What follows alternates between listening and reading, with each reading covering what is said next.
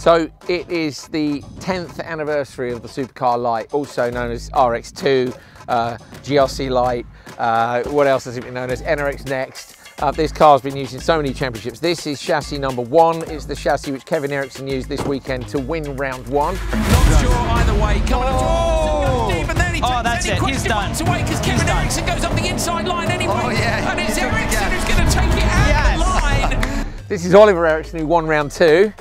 and mate, for some reason you volunteered to sit next to me and I get to drive on this incredible circuit in this great rallycross car. Yeah, for sure, it's gonna be blessed, no? I think so. Yeah, you seem a bit more relaxed about yeah, it than me. it'd be, it'd be amazing. Yeah, Okay, sure. awesome. Any tips? Yeah. Don't lift over the jumps and you'll be right. no? Well, that's good. So I always think uh, Kevin looks pretty trim. So if his belts fit me, what do you reckon? Yeah, you're trim.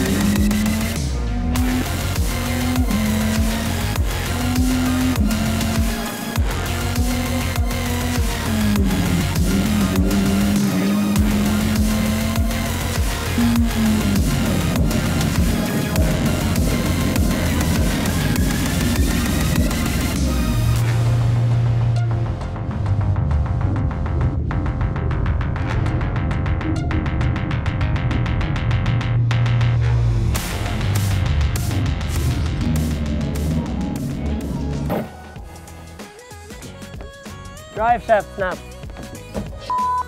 Okay. I basically Oh, we came. Oh no, I'm shaking. We came down the hill, got fifth. I was really close to the barrier, wasn't I? It's probably my best run down. I was latest on the brakes. You're getting the compression like on the curb on the right and the right. I'm loving this.